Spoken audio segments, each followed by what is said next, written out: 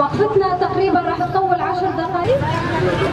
على مدى أكثر من أحد عشر عاما من الأزمة السورية والمرأة تدافع عن حريتها وكرامتها وتناضل ضد كافة الأنظمة الاستبدادية وكافة أشكال العنف والحرمان. وقادت ثورتها في شمال وشرق سوريا وعملت على تنظيم نفسها وتوحيد طاقاتها ورص صفوفها لنيل حقوقها. وبهذا كان لها خلال السنوات الماضية بعد مرحلة التحرير من أكبر تنظيم إرهابي حيث بادرت إلى تفعيل دورها في كافة المجالات متحدية كل الظروف والعواقب والصعاب التي واجهتها. وذلك بالرغم من الانتهاكات الجسيمة التي ترتكبها دولة الاحتلال التركي بحق النساء في المناطق المحتلة في شمال وشرق سوريا والاتجار بهن وإبادتهن ثقافيا وسياسيا. فهذه السياسة تنتهجها الدولة التركية منذ مئات السنين حيث عانت المرأة الويلات في ظل حكم الدولة العثمانية. وعاشت مسلوبة الحقوق ومضطهدة ومهمشة.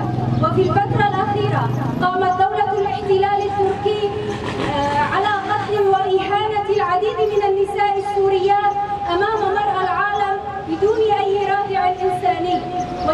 ونستذكر شهيدات الحرية وشهيدة حزب سوريا المستقبل الشهيدة هجرين خلف التي تم اغتيالها على يد مرتزقة الدولة التركية وهي امرأة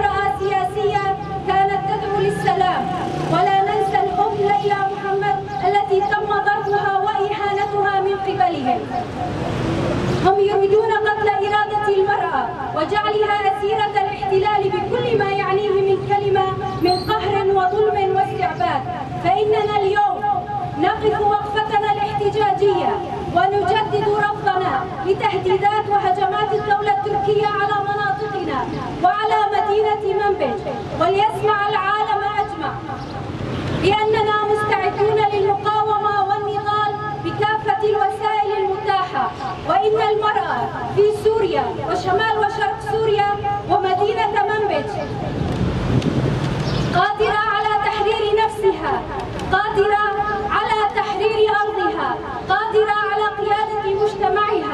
وليعرف أردوغان ومن معه. إننا لسنا ضعيفات حتى يقرر مصيرنا. فنحن قادرات على صنع المعجزات. وقد بدنا نعرف أهداف الدولة التركية. أهدافها